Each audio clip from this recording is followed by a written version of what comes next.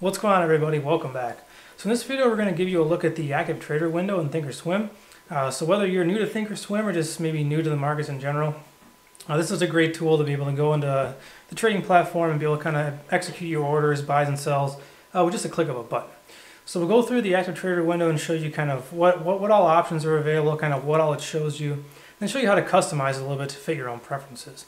Um, so for me, I actually am a day trader, so I would use active trader window to be able to get in and out of positions which is a one click of the button. Um, whereas some people maybe are just kind of like buy and hold traders, they just use like the TD Ameritrade website to do their orders, and that's fine.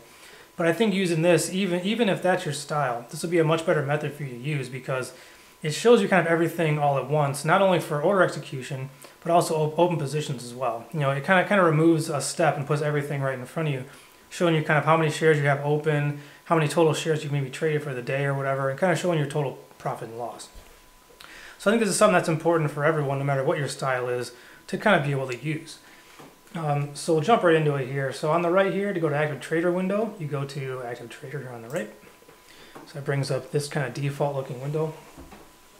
So we'll go through all the different buttons on here first. Uh, this is just default for now, but we'll get into the different things you can add and change on this. So you got just two kind of basic buttons here for buy at market, sell at market. And so this is really just as simple as it sounds. Um, if you, you want to buy, let's say, you know, 100 shares, you click buy market, sell 100 shares, sell market. There's a button here for cancel. Uh, this is actually to like cancel an order. I myself don't use this button, but you know, if that's your thing. Um, so this reverse position button, same thing here. I, I don't use this either. I think what this is supposed to do is basically if you're in like 100 shares on something, you can click reverse and it will then flip you to be short 100 shares. Whatever, whatever you want. So then this flatten position button is actually one that I really like. So what this one does is basically it just closes any open position. It's just, you know, if you're in a thousand shares, you're going to sell a thousand shares. And so why is this important, right? Because so you're, you're going to see with active trader, in order to be able to get in out of positions, you have to manually type in your share size and close them out. Whereas flatten position, if you just click that button, it automatically just closes you out of any positions. You can be in a weird share number of, you know, like 72 shares, it'll just close you out. Um, so this basically saves me a step, just clicking flatten instead of actually manually typing in and you know closing a position. Um, so down here is basically this is what I'm talking about with your open positions. It basically is going to give you a quick snapshot of so your total days buys and sells. Um, this is just an example using Disney. I haven't traded this today, so this is showing zero by zero.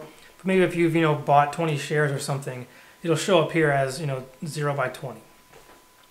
Um, so if you're in position, so Right now it says zero, but this actually, if you were in a position, it would say like, you know, plus 100 shares long or, you know, minus 100 shares short. So this is just kind of like a quick summary of your open position. This here is your average price.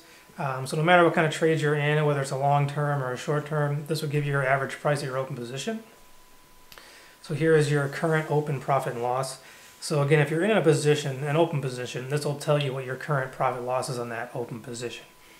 And over here in the profit loss day, this is basically your total net kind of cumulative profit and loss for this particular ticker on this particular day. So, you know, let's say you traded Disney five times today. Um, maybe you're in a position now, so the current position would be here, but all five positions combined would be right here. And down here is basically your depth of market. So if you're familiar with the level two, so level two is showing you, you know, current current orders being try, trying to get filled at the bid, and current orders trying to get filled at the ask. Well, this here is basically going to show you the same type of thing. So the current market price is 178.49. Okay, 178.47 now. And on the left here, you got the buy. So people are trying to buy down here at 178.45, 178.43, so on and so forth. And these here are the sells. So you can see people that are trying to sell way up here at 178.63, 178.50, so on and so forth. Um, so I myself do not use this here. I just basically use the level two down here for my order execution. But this is something, this is something you could use. Uh, you know, it gives you kind of a broad look here at you know current market price and showing kind of the orders on either side and kind of where buyers and sellers may be positioned. so now the next thing I want to draw attention to is this little arrow icon here on the left. So the show buttons area, you click on this, and now you've got the option to kind of enter a shared a shared number to buy and sell. So they've kind of got these default buttons in here, you know, 100 shares, 300 shares, 500 shares, so on and so forth. Um, I, I, don't use this. I just manually type mine in. Um, so you can go like this. So 50, hit tab. So 50 shares, hit tab, and now you can see there at the bottom, so you look down here. So buy 50 market, sell 50 market on the right side. So that's how that works. And so this auto send button here is really important. So I'm going to show you how, how, how this works if auto send is not checked. So if I just want to buy 50 shares at market right now, oops. Ah, now I'm going to go forward a step, sorry guys. So I'll try to buy 50 shares at market. So you see we get this order confirmation dialog box here. So this basically is just an additional step to say, are you sure you really want to buy 50 shares?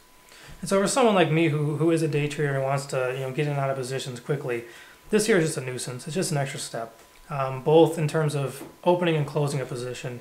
So all you gotta do to avoid this is just click on auto send, and then you won't you will not see that order confirmation dialog. And so now, unfortunately, I kind of want to step ahead uh, and try to show you that with this TIF button here. So if you go into the gear icon here on the right, this is configure buttons. This basically allows you to add and change what these kind of options here are that you use. Um, so this one here that I was going to show you is TIF. So I added TIF in there. And so what TIF is is time in force. So if you've used the TD Ameritrade website to execute an order, you've probably seen at the bottom it says time in force, and there's a few options there. So I'll walk through those really quickly to show you what they are. So time in force day is basically going to be just during the trading day between 8.30 and 3 o'clock. So if your order is set to day, it will only execute between those hours. So GTC is good till close. That basically means if you put in like a limit order or something, uh, it'll be good until the market closes. It'll, it'll, it'll, it'll be active till the market closes. Um, EXT is extended hours, so in theory for pre-market and after hours activity. Uh, and then GTC plus EXT here is going to be, if you put in an order to buy something pre-market or after hours, this is the option you want to use.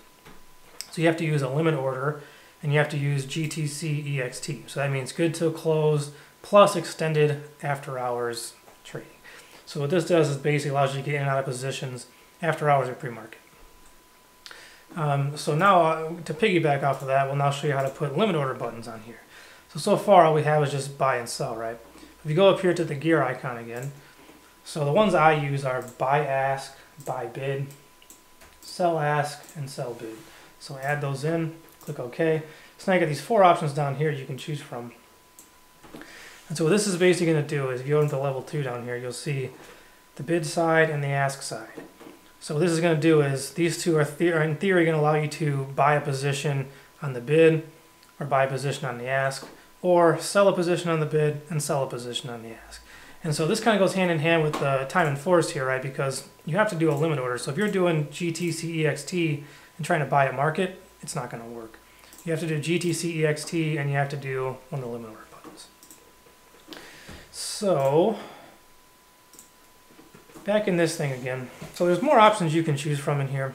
Um, there isn't really a ton more that's really too useful, I don't think anyway. So you can guys add some in here and show you kind of what, what they look like. We already have most of these anyway. You can see we kind of get a bunch of extra stuff in here. Doesn't really do anything for you. You know, this, this position thing here just says none, order none. The, the really kind of the, the meat and potatoes of this whole thing is going to be these buttons here across the top and then the limit order buttons and the time in force. Um, that's primarily what I, what I just use. I don't add in all the extra stuff because it's pretty much useless, I think. Um, so now I'll show you how you can kind of remove this stuff as well, and then that'll be the end of our video here. So back in the configure buttons icon, so say you want to remove cancel and reverse. So you can just click on cancel and reverse, do remove items. You know, let's take off some other stuff too. Order template selector, position indicator, all these. Here are all these. Click OK. So now you've just got buy market, sell market, flatten along the top, your order buttons down here, time in force, and your share positions right there. So hopefully that was helpful, guys. Um, is pretty much the extent of Active Trader. I don't know much what, what much more I could really show here. Um, so if you like that video, go ahead and comment, give some feedback down below. Hit the like button, subscribe button. Thanks for watching. I'll see you in the next one.